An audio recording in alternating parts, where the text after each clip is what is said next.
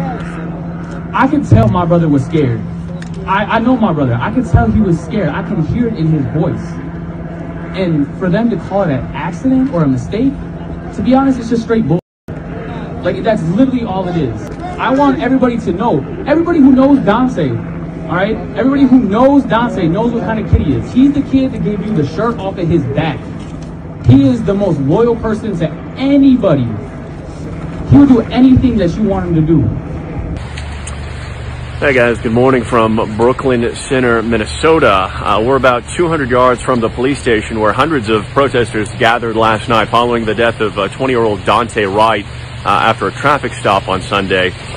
Uh, but last night, while hundreds were gathered outside the police station, uh, and police used tear gas and rubber bullets to kind of disperse that crowd that was out after a curfew, it left this strip of businesses here uh, essentially wide open to looters. And I want to show you just some of the damage left behind here.